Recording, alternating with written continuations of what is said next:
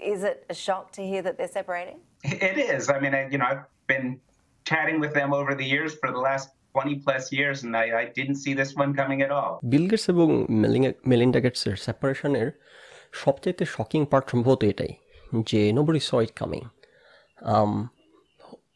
ওরা বেশ active active in that যে তাদের একটা ফাউন্ডেশন আছে বিল গেটস এবং মেলিন্ডা গেটস ফাউন্ডেশন তো সেই ফাউন্ডেশনের প্রয়োজনে তারা প্রচুর ইন্টারভিউতে অ্যাপিয়ার করা লাগে, প্রায় অলমোস্ট ডেইলি বা রেগুলার বেসিসে ইন্টারভিউগুলোতে সামনে আসে। তো, এবং তারা সবসময় খুব হাসি খুশি এবং সব কিছু মিলে তাদের সম্পর্ক যে খারাপ, কারণ চৌত্রিশ বছরের একটা সম্পর্ক সেপারেশনের দিকে যাওয়া, সম্পর্ক এন্ড হয় এটা কোনো রাতারাতি ডিসিশন না। এটা দীর্ঘদিন ধরে তাদের সম্পর্কে একটা টানা পড়েন, অনেক বছর ধরে ফর শিওর একটা টানা পড়েন, কিন্তু সেটা আমরা বাইরে থেকে একদমই টের পাই নাই।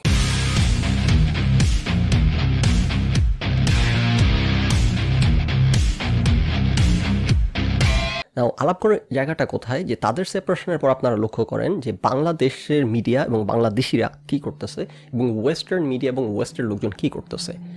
তাদের সেই সেপারেশন অ্যানাউন্সমেন্ট যেখানে করছে এই সোশ্যাল মিডিয়াতে এসে, সেখানে কিন্তু তারা বলছে যে আমরা প্রাইভেসি চাই এবং আমরা চাই এটা তোমরা সম্মান করো আমাদের ডিসিশনকে এবং ওয়েস্ট কিন্তু ঠিক সেটাই করতেছে। আপনি ওয়েস্টে কোনো মিডিয়াতে দেখবেন না এখন পর্যন্ত যে কেন হইল, কি হইল, না হইল এটা নিয়ে অ্যানালাইসিস করতে। একটা মিডিয়া নিয়ে জাস্ট গো অ্যান্ড গুগল তাদের প্রিন্ট মিডিয়া কেবল মিডিয়া কোথাও এটা নিয়ে কোনো টানা হ্যাচড়া নাই। কোথাও তাদের ফোন আলাপ প্রকাশ করতেছে না, ফাঁস করতেছে না কোনো মিডিয়া হ্যাঁ? তারা হাজব্যান্ড ওয়াইফ কী বলতেছে, তাদের কবে মনোমালিন্য হয়েছে, কী নাকি ইত্রামি, কোনো ইত্রামি নাই। সিম্পলি রিপোর্ট করতেছে সিম্পলি রিপোর্ট যে তাদের এত বছরের সংসার, এত বছরের তারা এই অ্যাকমপ্লিশমেন্ট তাদের লাইফে টুগেদার এবং ইন্ডিভিজুয়াল ক্যাপাসিটিতে এবং তাদের সেপারেশন হয়েছে রাইট কোনো থিওরি ফোনালাপ ফাঁস প্রকাশ কিছু হচ্ছে না। এটা হচ্ছে একটা আপনি মিডিয়ার রোল এই ঘটনার পর। আরেকটা হচ্ছে আপনি দেখেন, বাংলাদেশিরা ইত্রামি স্যাসরামি কাকে বলে? তারা ফেসবুকে লেখালেখি যে টাকা কখনো সুখ এনে দিতে পারে না, অর্থ তোরা কি জানোস তাদের কী কারণে সেপারেশন হয়েছে কোনো আইডিয়া আছে, কোনো ক্লু যে জিনিসটা আমি সবসময় বলি যে আপনি একটা কমেন্ট করার জন্য আপনার মিনিমাম বেসিস থাকা চাই মিনিমাম সাবস্টেন্স থাকা চাই। একটা থিওরি দেওয়ার জন্য, একটা কোরিলেশন দাঁড় করানোর জন্য মিনিমাম যে আচ্ছা এইটা, এটা থেকে আমি এই কনক্লুশনে পৌঁছাচ্ছি এবং ইম্পর্টেন্টলি এটা থেকে এই কনক্লুশনে পৌঁছানো যায় কি না কোনো ধরনের লেজিটিমেট গ্রাউন্ড আছে কিনা এই ধরনের কথা বলার কমেন্ট করার থিওরাইজ করার।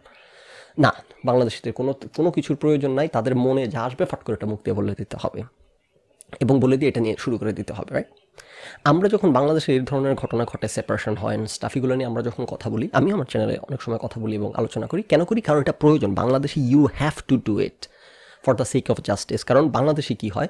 বাংলাদেশে যখন একটা সেপারেশন হয়, সাথে সাথে কিন্তু একজন আরেকজনকে ফাঁসানোর চেষ্টা করে, শুরু করে দেয় স্পেশালি মহিলারা। আইন ব্যবহার করে মব ব্যবহার করে রাইট তা কোনো কারণে তাদের মধ্যে সম্পর্ক ওয়ার্কআউট করা নাই এখন মামলা দিয়ে দিবে নারী নির্যাতন মামলা, যৌতুকের জন্য নির্যাতন করছে। আমার নিজের, আমি আপনাদেরকে স্টোরি বলছি, আমার নিজের চোখের সামনে দেখছি হাজব্যান্ড ওয়াইফের ওয়াইফের সেপারেশন হয়েছে হাজব্যান্ড অন্য জায়গায় সম্পর্ক, তারা সেপারেশনের পরে হাজব্যান্ড সেপারেশনের দিকে গেছে, যাওয়ার পর মহিলা হইতেছে, যৌতুক মামলা দিবে এখন। তা আমার সামনে যখন বলছে, আমি খুবই বিরক্ত হয়ে বললাম যে, না, উনি যৌতুক বলতে নির্যাতন, যৌতুকের জন্য নির্যাতন করা হয়েছে ওনাকে।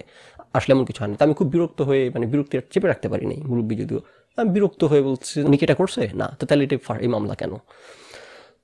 তো বাংলাদেশের হচ্ছে এরকম রাইট প্রতিশোধ নেওয়া বা ইত্রামি করা বা তো এগুলো তো এসব দেশে নাই রাইট তো যে কারণে আমাদেরকে কথা বলতে হয়, বাংলাদেশে কোনো একটা ঘটনা ঘটলে ন্যায় বিচারের স্বার্থে যে বলে যে কি ভিকটিম ব্লেমিং হয়, মেয়েদের চরিত্র হনন হয়, মেয়েদের চরিত্র হনন করতে হবে এই দেশে।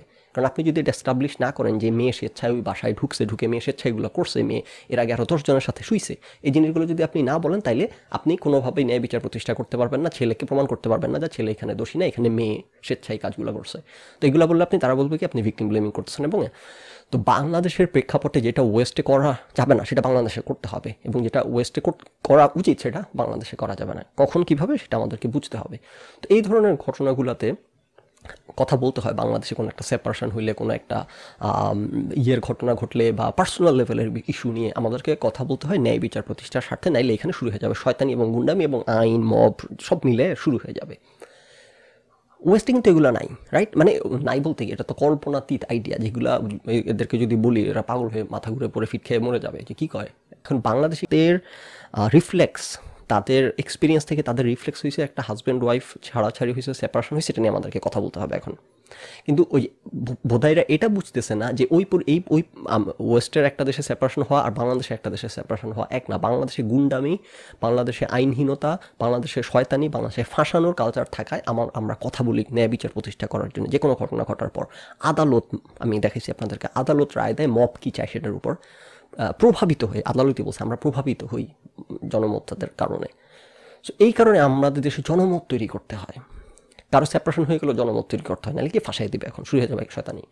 ওয়েস্টে তো এগুলো নাই। তো সেইখানে মানুষ এগুলো নিয়ে কথা বলে না, কথা বলার কিছু নাই। কিন্তু বাঙালি ওই যে তারা অভ্যস্ত কথা বলে সেপারেশনের পর তাদের নিজের দেশে, এই জিনিস যে ওয়েস্টের জন্য অ্যাপ্লিকেবল না, তারা বুঝতেছে না, তারা এখন বিল গেটস মেলিন্ডা গেটসে কেন সেপারেশন হইল টেনে থিওরি দিচ্ছে। অর্থ কখনো সুখ এনে দিতে পারে না এজিফ তারা জানে যে তাদের লাইফে অর্থ নিয়ে গন্ডগোল হয়েছে অথবা তাদের লাইফের যে কোনো সম্পর্ক, এটা একটা ব্যাপার, যেটা আমি অতীতে অনেকবার লিখে আসছি। ফেসবুকে যে একটা হাজব্যান্ড বা যে কোনো সম্পর্কের ডাইনামিক বাইরে থেকে বোঝা অলমোস্ট ইম্পসিবল সেখানে হাজব্যান্ড ওয়াইফের সম্পর্কে ডাইনামিক বাইরে থেকে বোঝা লাইক নিয়ার ইম্পসিবল এটা ইম্পসিবল এখানে এত ডিটেলস এত নুয়ান্স এত ডিটেলস ইনফল রাইট আমাদের এই কারণে দরকারও নাই বাইরে থেকে কমেন্ট করার। আমার সাথে আমার ফ্রেন্ডের ওয়াইফ যোগাযোগ করছে, তাদের লাইফের ইস্যু নিয়ে তার হাজব্যান্ডের ব্যাপার নিয়ে আমার সাথে কমপ্লেন করতেছিল। কমপ্লেন টমপ্লেন করে শেষ করে আমার কাছে মতামত, পরামর্শ চাইছে। আমি ক্লিয়ারলি বলে দিচ্ছি, দেখেন আমি এক সাইডের কথা শুনে কখনো মন্তব্য করি না, আমি করব না। আপনি আপনারটা বলছেন, ঠিক আছে, আমি শিওর যে আমার ফ্রেন্ড যে ওর কোনো এক্সপ্লেনেশন আছে, আমি তারটা শুনতে চাই। আপনি যে যে জিনিস উপস্থাপন করছেন, তার মধ্যে এই এই এই জিনিসগুলা আমি এটার কোনো এক্সপ্লেনেশন থাকতে পারেন এটা আন্ডার এনি সার্কামস্টেন্সেস আনঅ্যাকসেপ্টেবল যদি আপনি যা বলছেন এটা সত্য হয়ে থাকে। না আপনার কথার ফেস ভ্যালুতে আমি এটা বিশ্বাস করে নিচ্ছি এটা সত্য না, মিথ্যা, এটা তার দিককার কথা শুনলে বুঝতে পারব। বাট এই ধরনের ইস্যুতে হাজব্যান্ড ওয়াইফের বা আমি এক পক্ষের কথা শুনে কখনো কমেন্ট করি না, করব না সো আই এম সরি আমি কোনো মন্তব্য করতে চাই না। তো এটা হইতেছে রিয়ালিটি রাইট যে কোনো সম্পর্কের ডাইনামিক বাইরে থেকে ডিটেলসগুলো বোঝা অসম্ভব on top of that husband ওয়াইফের রিলেশনশিপের ক্ষেত্রে আরও অসম্ভব হয় সো তাদের, এটা পৃথিবীর সকল হাজব্যান্ড ওয়াইফের মধ্যে ইস্যুস হয়। বাইরে থেকে এটা বলার কোনো সুযোগই নেই যে কী নিয়ে হয়েছে। বাঙালি বুঝা গেছে যে টাকা, পয়সা, সুখ এনে দিতে পারে না, টাকা নিয়ে ইস্যু তাদের। বুঝা গেছে ওকে অথচ তাদের কাছে যে টাকা, পয়সা কোনো ইস্যুই না এদের কাছে যে টাকা, পয়সা কোনো প্রায়োরিটি না। বিল গেটস এবং মেলিন্ডা গেটস তাদের টাকা পয়সা যে পরিমাণ ইনকাম করছে, তার সব কিছু হচ্ছে বিভিন্ন দাতব্য মানে দাতব্য মানে হচ্ছে চ্যারিটি আর কি, বাংলা করছে দাতব্য। ছোটোবেলায় দাতব্য ভাবছিলাম দাঁত সংক্রান্ত। তো এনিওয়েজ চ্যারিটি অর্গানাইজেশনই দিয়ে দিচ্ছে। তারা নিজেরা বিল গেটস এবং মেলিন্ডা গেটস ফাউন্ড করছে হচ্ছে গিভিং গিভিং প্লেজ সো এই গিভিং প্লেজটা চালু করছে বিল গেটস এবং মেলিন্ডা গেটস সহ সম্ভবত, না গিভিং প্লেজটা সম্ভবত মেলিন্ডা গেটস উদ্যোগী নিয়ে বিল গেটস সহ করছে। সেই প্লেজটার কথা হচ্ছে যে, এরা হচ্ছে বিলিনিয়ার যত আছে এরা বিলিনিয়াররা তাদের সম্পত্তির একটা নির্দিষ্ট অংশ খুব সম্ভবত ফিফটি পার্সেন্টের মতো মানব কল্যাণে ব্যয় করবে। সেই প্লেসটাতে সাইন করছে হচ্ছে ওয়ারেন বাফেট তারপর হচ্ছে ওই যে ম্যাকেনজি বিজো বেজোস মানে জেফ বেজোসের বউ অ্যামাজন প্রতিষ্ঠাতা, তারপর বিল গেটস আছে মেলিন্ডা গেটস আছে এবং অনেক এটার মধ্যে জয়েন করতেছে। সো টাকা পয়সা তাদের জন্য কোনো ইস্যু না। যারা বাংলাদেশি এরা থিওরাইজ করতেছে কোনো বেসিস ছাড়া, যেটা বললাম, এদের কোনো বেসিস লাগে না কথা বলার আগে।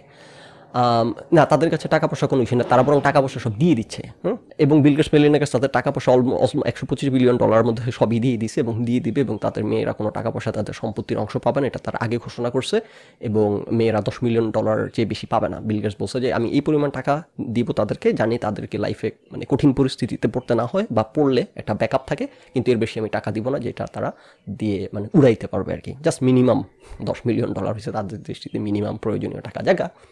তো একশো পঁচিশ বিলিয়নের মধ্যে দশ মিলিয়ন কত পার্সেন্ট হিসাব করে দেখেন?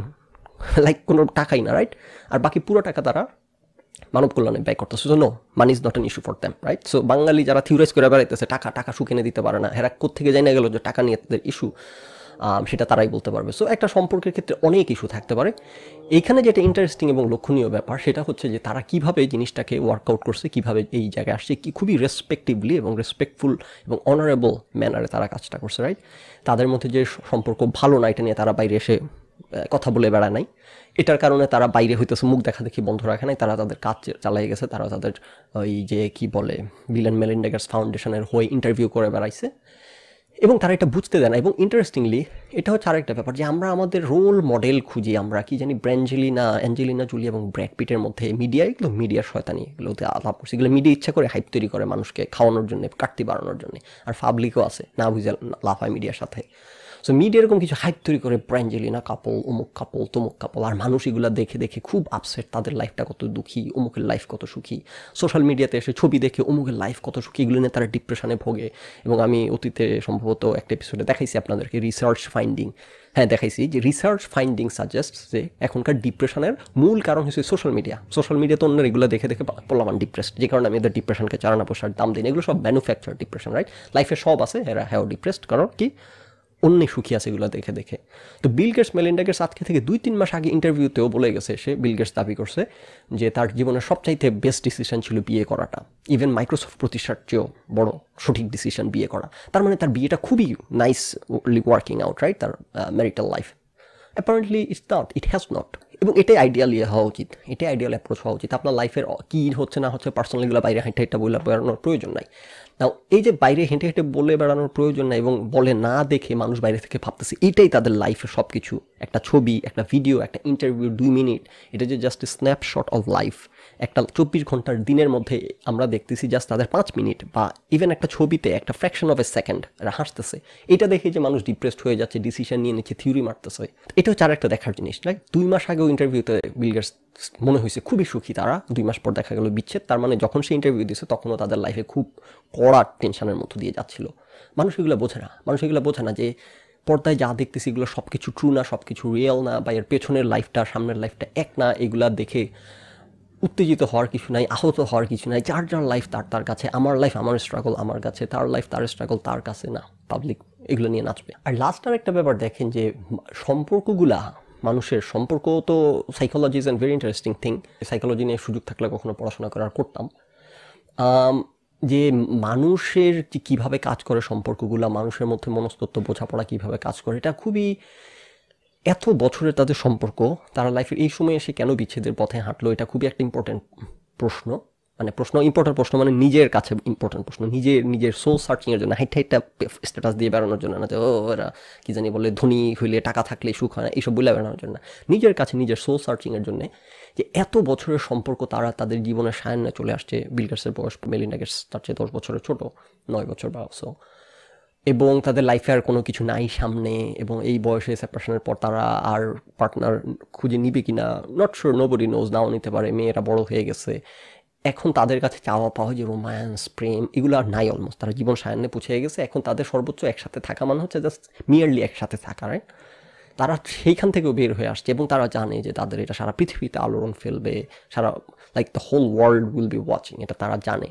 তো সেটা বিবেচনা করে হইলেও তারা ওকে ফাইন কম্প্রোমাইজের পথে হাঁটে নাই। তারা এইভাবে দেখতেছে না বিষয়টাকে যে তাদের জীবন শেষ দেয়ার লাইফ ইজ ওভার বুড়ো হয়ে গেছে, সুতরাং ঠেলে ঠুলে একভাবে পার করে দেই, তারা এইভাবে দেখতেছে না। অ্যাগেন যেটা বললাম, এটার কারণ কি এই যে তাদের লাইফ তাদের সম্পর্ক এতই খারাপ এতই তিক্ত, যে আর নেওয়া যাচ্ছে না, নাকি জোর করব না, আমরা এটাকে আর পুশ করব না এবং আপনি আরেকটা ইন্টারেস্টিং ব্যাপার দেখবেন, যেটা আমি আগেও আলাপ করছি একটা এপিসোডে যে ওই যে no means no marital sex এরকম বিষয় নিয়ে লাফালাফি করবে কারা? স্যাংরা পোলাপান ইউনিভার্সিটি একটারও বিয়ে শাদী হয় নাই।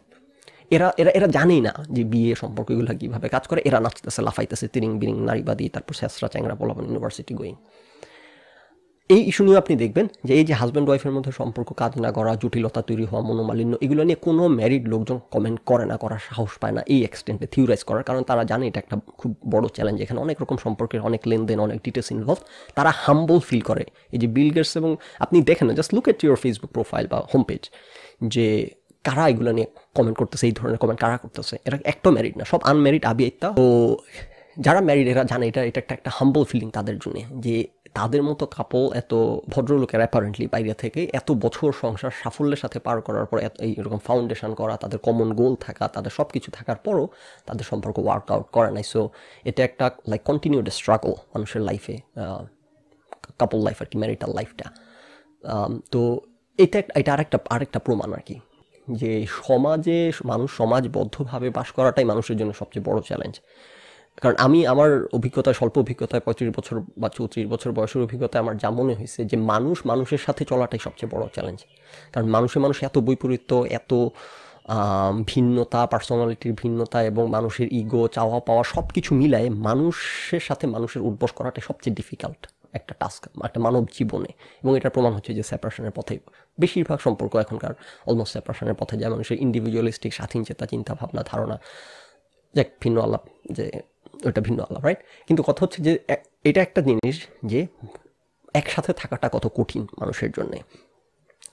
তো এগুলা আমি জানি আমার জন্য হাম্বল এক্সপিরিয়েন্স এই যে তাদের এই ঘটনাটা, এটা আমার জন্য একটা হাম্বল এক্সপিরিয়েন্স যে বিল গেটস মেলিন্ডা গেটসের মতো লোক লাইফের এই স্টেজে সেরকম একটা সিদ্ধান্তের দিক দিয়ে গেছে this is how complicated life can be or life is maybe তো এটাই হচ্ছে আমার এখান থেকে টেক অ্যাওয়ে আমার পার্সোনালি পুরো ঘটনা থেকে আলোচনা করার কিছুই নেই, এটা এটা এটা সভ্য দেশ, সভ্য দেশের মানুষের পার্সোনাল লাইফ নিয়ে কথা বলার কোনো প্রয়োজন নাই প্রয়োজন নাই।